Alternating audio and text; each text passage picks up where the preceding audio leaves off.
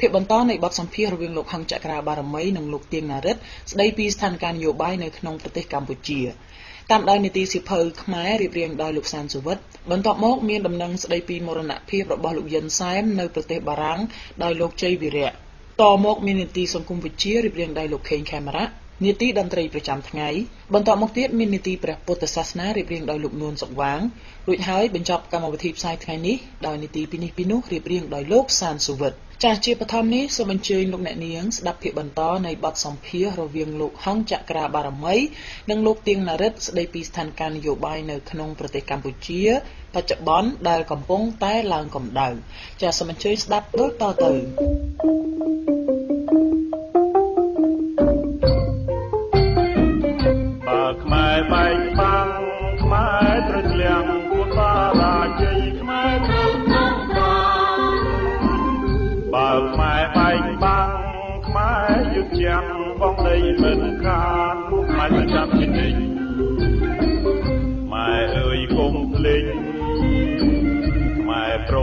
និច្ចជានិច្ចគុំឲ្យព្រួយបានកលល្បិចសត្វត្រូវបោកម៉ែយើងចាស់ប្រមាណបើបើបើបើបើអា friendship ចេញពីហ៊ុនសែនចុះហ៊ុនសែនវាមានមេវានៅហាណូយនោះតើពួកនោះវាសុខចិត្តទេនៅអឺខ្ញុំមិននិយាយ អឺ Interaction Technology នេះមិនមែនអឺលោកឲ្យតែហ៊ុនសែនទេគេលោកឲ្យតែអឺហាណូយហាណូយអ្នកប្រើប្រើលើដូចជាវាខ្មែរប្រើលើហ៊ុនសែនហើយហ៊ុនសែនប្រើអានឹងលើជាវាខ្មែរទៅទៀតហើយមានខ្ញុំជាអ្នករកគ្រោះស្រាប់ហើយទោះបីខ្ញុំមកដល់ថ្ងៃនេះក៏មានម្នាក់ជួយតែគាត់តែលឺបច្ចេកវិទ្យាហ្នឹងមិនដុកទ័រពេទ្យអីដៃជាជួយបដិសេធបាត់ខ្ចោល គឺវាមានឥទ្ធិពលខ្លាំងណាស់តើពិភពលោកគេគិតយ៉ាងម៉េចរឿង friendship ហ្នឹងឬមួយទុកឲ្យរបបកុម្មុយនីសរៀលដាលនៅក្នុងអាស៊ីភាគអាគ្នេយ៍យើងអឺខ្ញុំមិនដឹងថាពិភពលោកជាអ្នកដែរគេគ្រប់គ្រងទេគ្រាន់តែថាដឹងថាអង្គការសហជាតិដែលជាទីសង្ឃឹមរបស់ខ្មែរបើមិនជាខ្មែរយើងមានតំណែងគឺដល់តអង្គការសហជីវអង្គការសហជីវទៀតអានឹងបានន័យថាគេហ៊ានបកស្រាយរបស់អង្គការសហជីវមិនមានទេ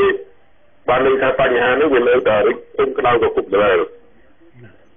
អឺយើងមានអង្គការយើងសប្តាហ៍នេះគឺថាបង្កើតមាន2ហើយអង្គការគឺកបៈ1ណាហើយនឹងអង្គការអឺ AW នឹងមួយដែរណាអង្គការខាងអីសម្ព័ន្ធខ្មែរដើម្បីកម្ពុជានឹងកំពុងតែធ្វើ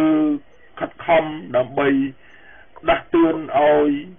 អង្គការពិភពលោកឬឲ្យអន្តរជាតិថ្ងៃទី23ដុល្លារហ្នឹងទៅវិលត្រឡប់មកវិញតែបងប្អូនភាគខ្លះថាថ្ងៃទី23ដុល្លារហ្នឹងរលាយបាត់ចូលក្នុង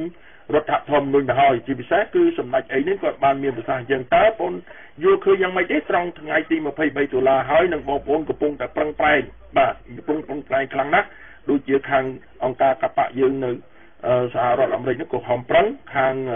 អឺ ស្អី CWA ហ្នឹងក៏ខំប្រឹងបាទឥឡូវហ្នឹងតើយើងមានសង្ឃឹមតទៅមុខទៀតទេអន្តរជាតិគេនឹងជួយយើងទៅមុខទៀតទេឬមួយទុកឲ្យប្រទេសយើងខ្លាយទៅជាប្រទេសមួយឯកោឬប្រទេសមួយក្រមអាណានិគមរបស់ហាណូយបាទនិយាយចំតែម្ដងបាទសូមជួយ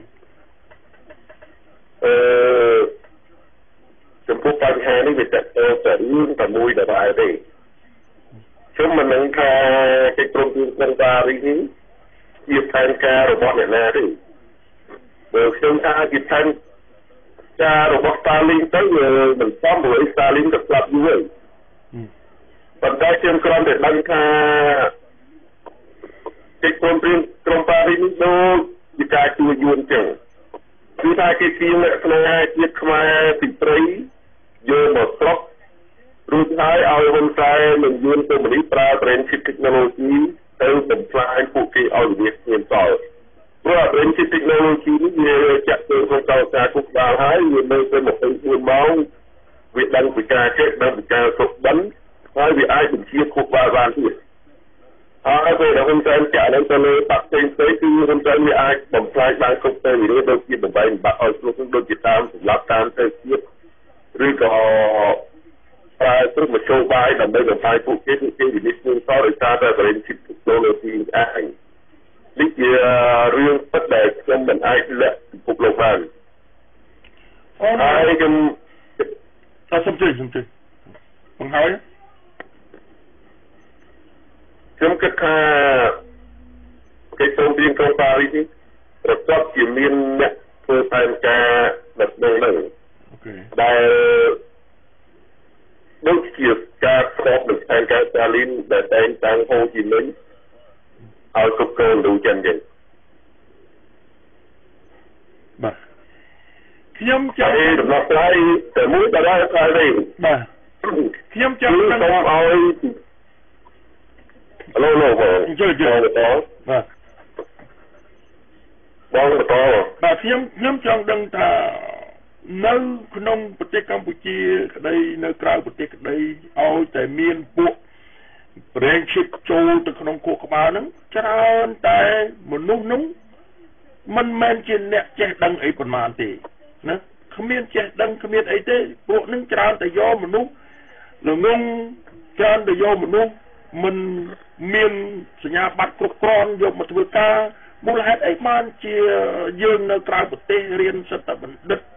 នៅបញ្ញវន្តចេះដឹងពុំពុះយើងគ្រាន់រៀបចំធ្វើដើម្បីឲ្យសម្បត្តិ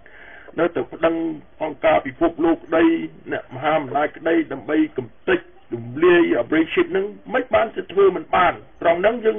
ដូចជាប្រៀបធៀបដូចដូចជាចាញ់ខ្លៅមែនតើនេះយើងអ្នកប្រាជ្ញអឺគេមិនមែនធ្វើមិនបានទេបើមិនជាក្រុមបណ្ឌិតបណ្ឌិតអ្នកដឹងនៅរឿងខ្មែរនៅក្រៅប្រទេសនឹងគៀនធ្វើតែគាត់ពិបាន ប៉ុន្តែបញ្ហាទី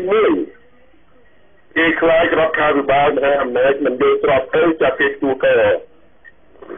បញ្ហាទី2គេខ្លាចខូច credit រឿងនេះរឿងពាក់ព័ន្ធនឹង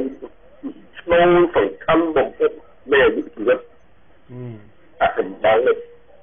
ដូច្នេះខ្ញុំមិនចង់និយាយច្រើនតទៅទៀតទេគ្រាន់តែថាបើខ្មែរយើងជាតវ៉ាពីរឿងអបរិមហ្នឹងឲ្យគេបដិចេញ បន្តបរិមឈីនឹងកុំឲ្យយូរទៅកុំឲ្យហ៊ុនសែនតើគឺខ្មែរយើងស្នះប៉ុន្តែខ្មែរយើងនៅតែខ្លាចជាជួតនៅតែខ្លាចខូចព្រីស៊ីទៅខ្លាចជាជាខ្លាចចុះគឺថាមិនអាចទៅរួចទេអានឹងជាអាយុជីវិតខ្មែរហើយក៏ជាតាមបំផ្លាញខ្មែរយូរឆ្នាំហ្នឹងហើយអូនអាចជួយ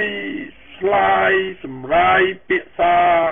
ឲ្យច្បាស់ដើម្បីឲ្យបងប្អូនប្រជាពលរដ្ឋយើងខ្លះដែលគាត់មិនយល់ពីបញ្ហា brain chip ហ្នឹងតើបងប្អូនអាចសម្រាយបានទេបាទសូមជឿនពេលទីនេះគឺយើងបកប្រែជាភាសាខ្មែរថាបច្ចេកវិទ្យាចារកម្មគ្រប់គ្រងទូក្បាលបច្ចេកវិទ្យាចារកម្មគ្រប់គ្រងទូក្បាលដែលភាសាអង់គ្លេសហៅថា mind control បានន័យថាត្រួតត្រាផ្លូវចិត្ត គឺដល់ពេលដែលគេចាក់ឈីតចូលទៅក្នុងគូប្រាវាជ្រាបដល់ដល់ចាគូក្បាលហើយគឺវាអាចបញ្ជាគូក្បាលបានហើយវាអាចមើលឃើញគ្រប់ទីកន្លែងគ្រប់ពេលវេលាអាចខកសម្លេងបានគ្រប់ទីកន្លែងគ្រប់ពេលវេលាមិនត្រឹមតែប៉ុណ្ណឹងវាអាចដឹងទៅការគិតទៅមិនតែដេកសុខបានក៏វាដឹងដែរពេលដែលយើងដេកគឺពុកបានយើងទៅមកវាចេញនៅក្នុងកុំព្យូទ័រគេរបស់ ហើយយើងគិតអីចឹងទៅគេដឹងទៀតហើយគេដឹងថាមកយើងចង់ទៅតា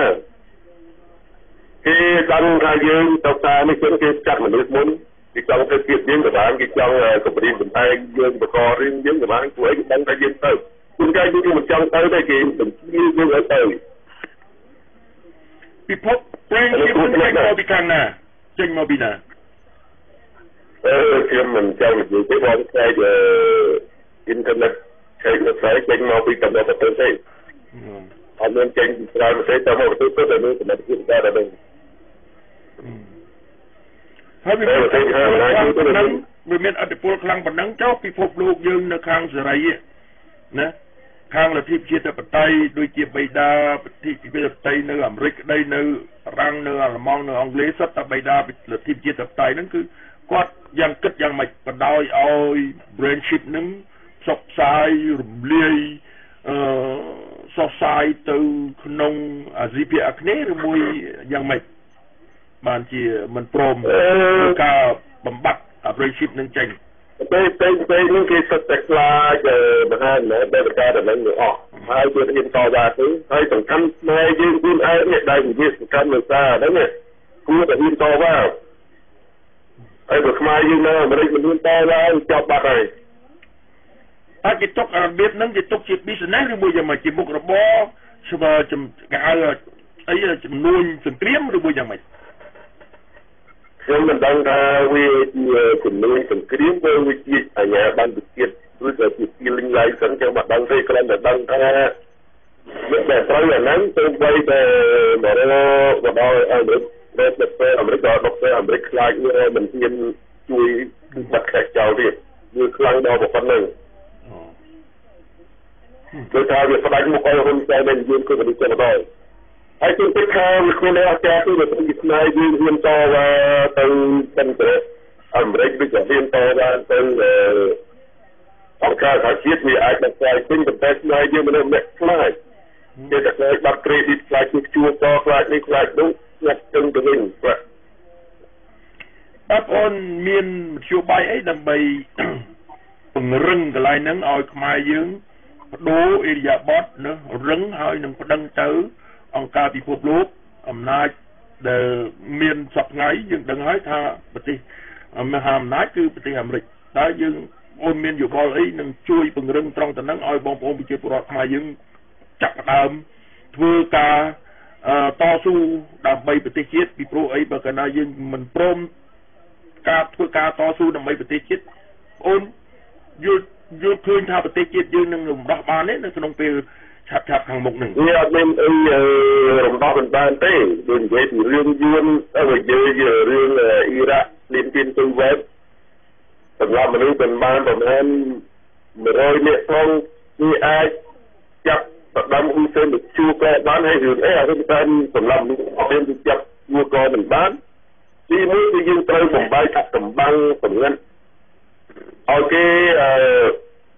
ដក apprenticeship technology ពេញចេញទៅកាលណាគេហ៊ានដកអានឹងពេញក៏គេហ៊ានសម្រាប់ហ៊ុនសែនហើយបើគេហ៊ានឲ្យអានឹងហ៊ុនសែនបាននេះតែគេផ្ដល់អត្ថប្រយោជន៍ហ៊ុនសែនទៅពេញរីស្មើវាអានឹងវាបំផ្លាញវាហើយវាបំផ្លាញអ្នកនយោបាយខ្មែរគ្រប់ប្រភេទទាំងអស់